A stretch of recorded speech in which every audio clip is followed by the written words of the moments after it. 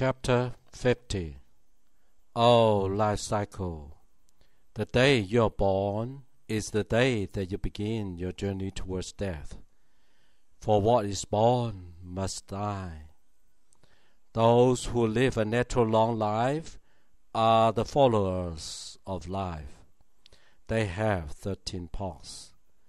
Those who live a natural short life are the followers of death they have thirteen parts. Oh, those who should live a natural long life but die young, they too have thirteen parts. Why is that so? Oh, they try to temper life too much. They die of the desire of the thirteen parts. Oh, the humble one, what are the thirteen parts? Oh, man, Everyone has two legs, two hands, and nine holes. They are the doors through which desires enter the body. Oh, no fear. I have heard that he who knows how to live long can walk on land without fear of rhinoceros and tigers.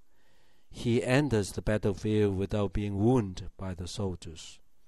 Oh, no desires for in him the rhinoceros can find no place to thrust their horns, tigers no place to use their claws, the soldiers no place to pierce their blade.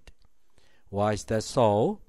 Oh, newborn baby, because he has no desires to harm any creature, the ferocious animals don't attack him.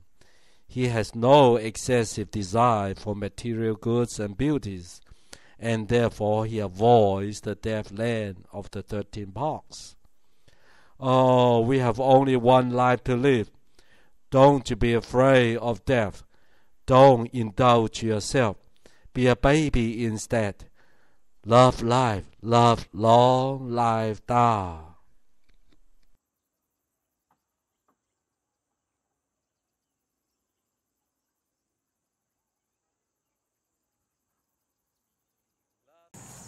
Hi, uh, this is Luke Chan. I'm uh, here in the beautiful scenery in Yangshuo. That's uh, about three hours from Zhongshan. But anyway, today I want to talk about, a lot of students ask me, what is the difference between Tai Chi and Qigong, all right? Now, if you are, I'll assume you are now a Qigong practitioner. Uh, so uh, if you're doing the Zhineng Qigong, or Chilel Qigong, uh, uh, you just stationary there. You're not moving. Either you put your feet together or separate. So uh, all you're moving is just the hands, okay? Just the hands, and uh, all the rest is just stationary. Just stationary. So it's very easy to do. Very easy to do. Okay, very easy to do. And because your your feet's not moving, but Tai Chi you move the feet. Okay you move the feet, so you're more valuable. You move, so you, you move, you move more. But but actually, uh, the inside is the same. So if I, what is inside the same, uh, means uh, it's basically release, absorb, breathing in, breathing out. Qigong or Tai Chi is all about the breath. So you know, use the mind, introduce the breath, and then move your body. So if I move my hands like this, so in Qigong, if I move my hand like this, okay, so from the shoulder, elbow, wrist, you move like this, and in Tai Chi, you move, you start to step on your feet, okay? I wonder you can see, you step on your feet and just start to move. You might be the same movement, but the legs is involved. Now why is that? Because Tai Chi, the intention, so when you move one hand like this, you like striking people. When you kick, you move, you move your body. So the intention is uh, for self-defense. Now, because the movement the same, so you're breathing in, breathe out. Use the, the breath to control your body. All right. Uh, so because uh, by doing that, uh, you're very relaxed and get the benefit of healing. And it's good for healing, for good for older people. So in China, uh, a lot of people uh, starting to slow movement. But slow It's just like Qigong. When you move your hands, not just move your hand, you from your Dan Tian, remember the lower Dan Tian, the Mingmen, and then the middle Dan Tian, shoulder brace, the hand, the tongue. So it's straight line. So the upper Dan Tian, one straight line. So it's the same. So you move, it's the same. So every movement, release, absorb. The Qigong, release, absorb. You're thinking the same movement. Where your hands, where, where's your, your back, shoulder, elbow, wrist, and every finger going out. The feet also doing the same thing.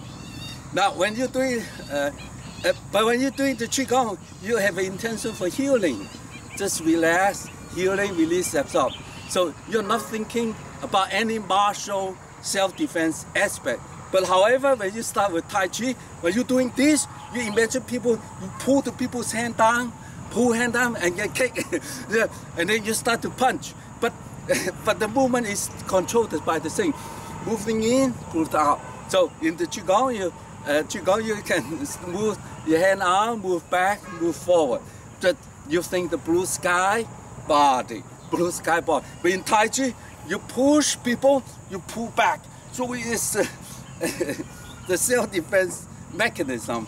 So the hand, you like somebody punch you, you block and you punch. Now in Qigong, you just open hands and pull chi down. So the intention different, but the mechanism, but the thinking is the same. Uh, except your intention uh, uh, is different. Now, uh, Tai Chi is very difficult to learn because you start with move the hands, legs, hands together from inside. The lower down then up, and then if you're not coordinating with your breath, with your mind, then things looks like uh, looks like you're doing Tai Chi, but you're not doing it.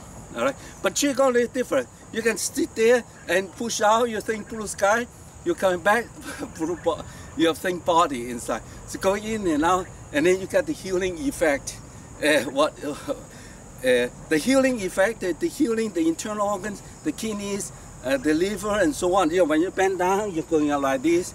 So you, in turn, you know, the healing.